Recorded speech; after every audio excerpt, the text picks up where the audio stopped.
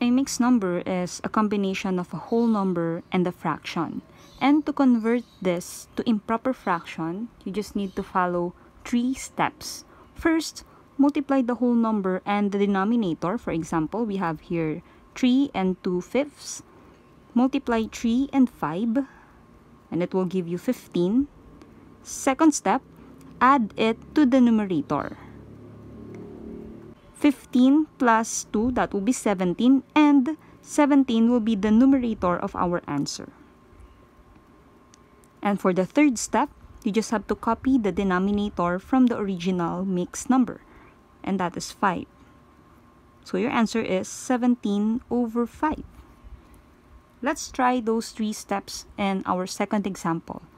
First, multiply 5 and 18 5 times 18, that will be equal to 90. After that, add 90 to the numerator. The numerator is 11, so 90 plus 11, you'll get 101. That will be our numerator. And then, copy the denominator given, which is 18. So the answer is 101 over 18. Last example. Again, the first step is multiply the whole number and the denominator. 2 times 10, that's 20. After that, add 20 to the numerator. That's the second step. 20 plus 1, that will be 21. You may write that in the numerator of our answer. And the last step, copy the denominator of the given mixed number, and that's 10. So the answer is 21 over 10. Alright, improper fractions are fractions where the numerator is higher or greater than the denominator.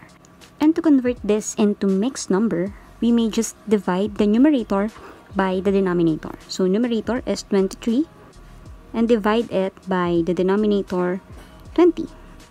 So 23 divided by 20, you get 1. 20 times 1, that is 20, then subtract. 23 minus 20, you get 3. Now, to form the mixed number, your answer will be the whole number. The remainder will be your numerator.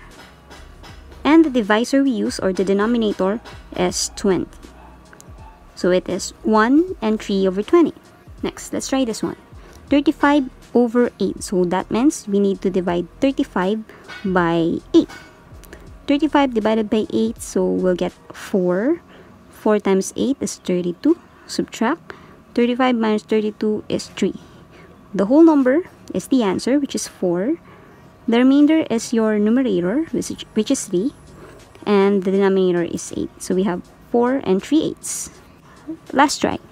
79 over 5. So it means that we'll be dividing 79 by 5. Alright, so 7 divided by 5, that's 1. 1 times 5, that's 5. Subtract. 7 minus 5, that's 2 bring down 9 29 divided by 5 is 5 5 times 5 is 25 alright subtract. 29 minus 25 you get 4 so no digit to bring down anymore so that's it. Your answer which is 15 will be your whole number. Remainder is your numerator and the divisor is your denominator. So we got 15 and 4 over 5 that's it